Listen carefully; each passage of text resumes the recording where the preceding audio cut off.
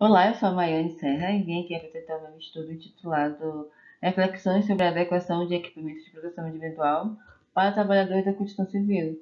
Esse estudo parte da minha pesquisa de mestrado que está em andamento na linha de ergonomia e eu fiz esse artigo com a, com a autoria da minha orientadora, a professora Ivana Márcia.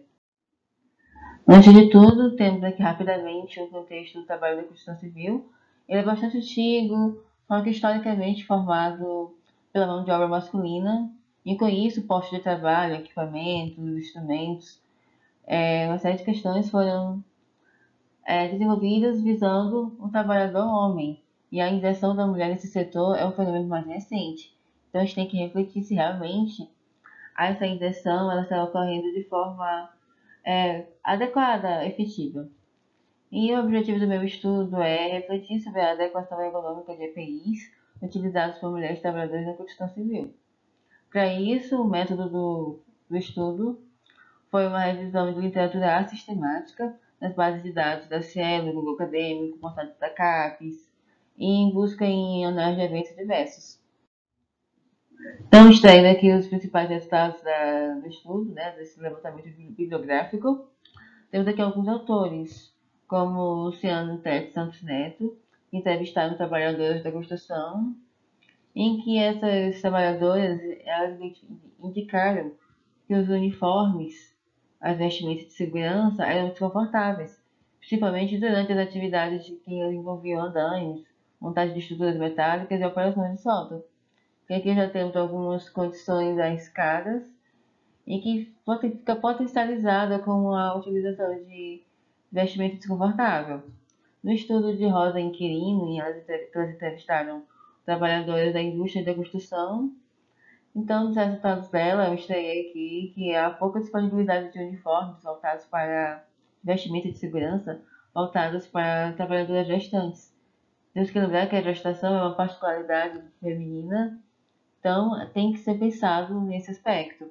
E também, nesse mesmo estudo, as trabalhadoras elas mencionaram que o que era mais comum eram as empresas fornecerem luvas tamanho M, com a justificativa de atender homens e mulheres, que na verdade não atendiam, porque as luvas continuavam grandes para essas trabalhadoras. E é arriscado, né? Porque operações manuais, com um custo muito constante, e a pessoa está utilizando uma luva grande, com baixa aderência, enfim. Temos que, que repensar nesse aspecto. No estudo de Meirelles Veiga e Duarte, eles mencionam que luvas e botas utilizadas na construção civil norte-americana está comprovado que são, não, são, não tem conformidade ergonômica em termos antropométricos para usuários mulheres. E no estudo de Ollenbeck, entre outros autores, eles fizeram umas entrevistas com operárias e carpinteiros meio do grupo focal.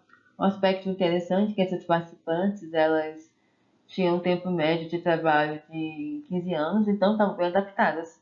Só que mesmo assim mencionaram a deficiência em diversos EPIs.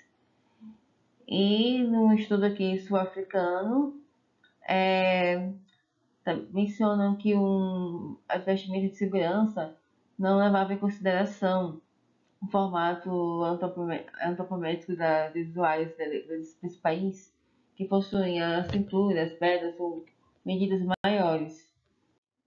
Em algumas conclusões, é, que, estão, na verdade estão, geram reflexões, a gente percebe que há um considerável atraso no que diz respeito ao atendimento, de EPIs para trabalhadores da construção civil.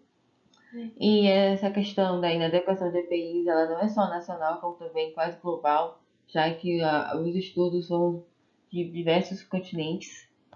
E dos EPIs mencionados através desse estudo, não é uma generalização, mas as luvas e as vestimentas foram as mais mencionadas, são desconfortáveis e fica evidenciada né, que é necessária uma revisão topométrica geral.